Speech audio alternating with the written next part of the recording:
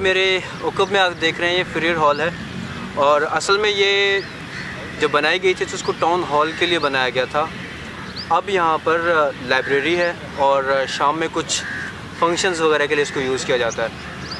اگست eighteen sixty three میں اس کی تعمیر شروع ہوئی تھی اور اکتوبر ایٹین سکسٹی فائیو میں اس کی تعمیر مکمل ہوئی۔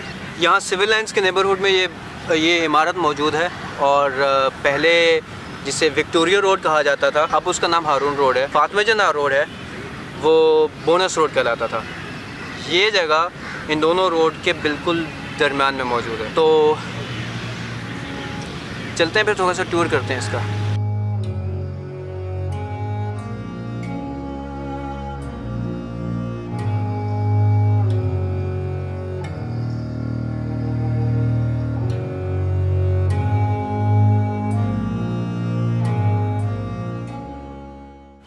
نائنٹین فورٹی سیون کے بعد اس لائبریری کا نام انہوں نے لیاقت نیشنل لائبریری رکھ دیا تھا، لیکن اندر جانے کی کوشش کی لیکن ویڈیو بنانے کی یا فوٹوز لینے کی اجازت نہیں ہے۔ بھائی کی تھوڑی سی بےزتی ہو گئی ہے، لیکن خیر، چلتا ہے۔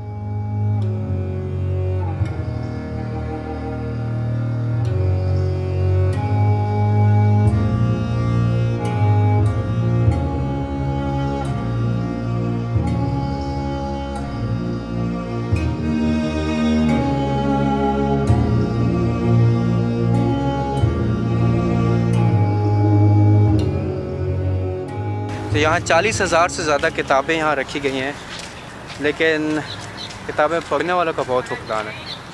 یہاں گھومنے والے بہت ملیں گے آپ کو۔ ڈیٹس بھی آپ کو بہت ملیں گی۔ کمرشلز بھی جب ہم آئے تب ایک شوٹ ہو رہا تھا، اس کے بعد اب نئی ٹیم آ چکی ہے، لیکن لائبریری اندر سے بالکل خالی تھی۔ تو یہ صورت حال ہے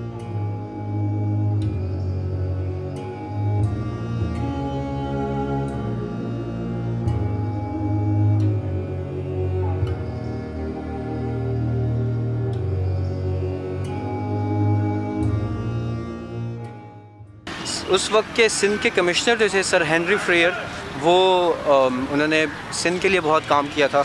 انہوں نے سندھی لینگویج کو پرشین سے چینج کیا اور سندھ کے لیے ان کی خدمات بہت زیادہ سمجھی جاتی تھی۔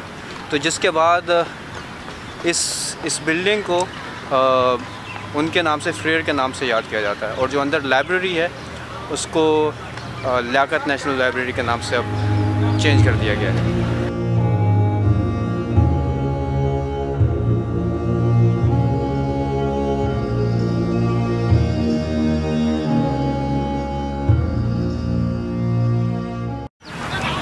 اللہ دینے بہت آسان ہے اللہ کا خطہ دیا پاکستان نے۔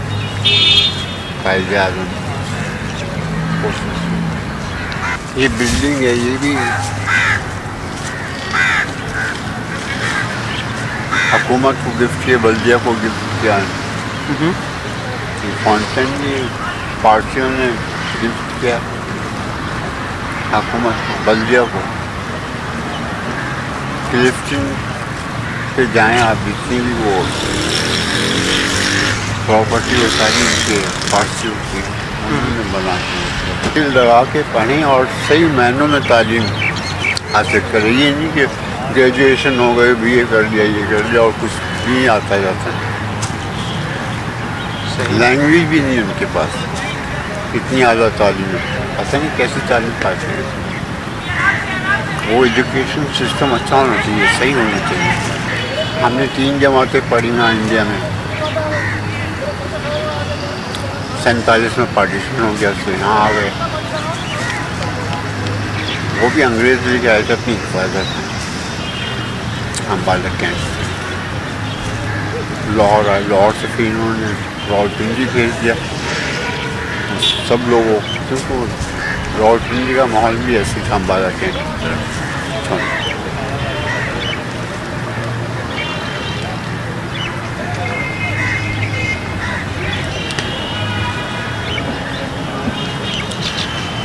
لیکن ہاں بہت بیکورڈ علاقہ تھا وہ